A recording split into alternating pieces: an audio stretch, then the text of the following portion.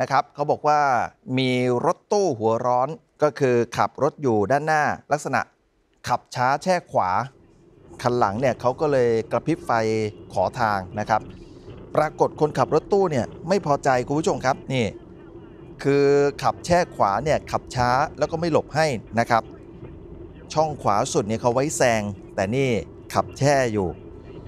ก็เลยพอโดนกระพริบไฟใส่เนี่ยเกิดอาการหัวร้อนนะครับ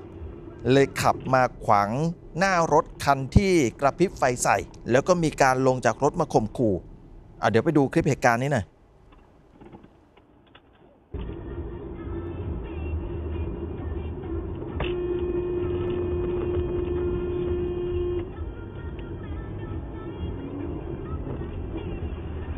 ครับจะร้องเรียนรถตู้โดยสารขับหวาดเสียวครับ ครับผม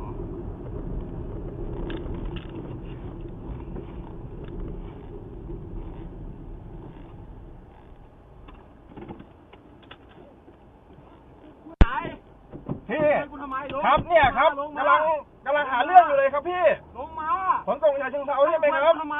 เอาพี่ขับยังไงพี่มาเบียดให้ผมชนทำไมอะ ข้างหน้ารถก็มีก็ผมไม่เห็นผมก็เปิดไฟแล้วผมเรียนบิดแต่ไล่พี่เหรอ ถนนการก่อสร้างมึงไม่ต้องรีบครับโอ้ไม่ต้องรวจไปตรงนั้นน่ะ เนี่ยพี่มาหาเรื่องใหญ่เลย นี่นะครับคุณผู้ชมครับ เหตุเกิดเนี่ยที่แถวแถวๆอำเภอบางคล้าจังหวัดฉะเชิงเซานะครับ ทางเจ้าของกล้องหน้ารถเนี่ยบอกว่าเนี่ยเจอรถตู้ป้ายเหลืองคันนี้นะครับขับอยู่ด้านหน้า แล้วก็ไม่ยอมหลบเนี่ยวิ่งแช่ขวาจึงกระพริบไฟขอทางเพียงครั้งเดียว ต่อมารถตู้เนี่ยหลบให้ แต่หลังจากที่ขับขึ้นแซงไปได้สักพักหนึ่งรถตู้ขับมาปาดหน้า จึงทำให้ต้องเบี่ยงออกซ้าย แล้วก็พยายามจะขับหนีเพราะกลัวจะมีเรื่องนะครับ แล้วก็อย่างที่เห็นตามคลิปเนี่ยรถตู้เนี่ยมาจอดขวาง คนขับเดินลงมา ชกกระจกรถแล้วก็พูดจาข่มขู่ แล้วก็ยังมีการขู่อีกบอกว่าในรถตู้เนี่ยมีปืนนะอ่านี่นะครับ ชายเจ้าของกล้องหน้ารถก็เลยบอกให้ไปคุยกันที่ขนส่งนะฮะต่อมาพอขับออกมาจากจุดนี้ได้อีกสักพักหนึ่งคุณผู้ชมครับ พอมาถึงจุดยูเทิร์นปรากฏคนขับรถตู้เนี่ยยังไม่จบนะครับ ก็มีการถือไม้เนี่ยลงมาข่มขู่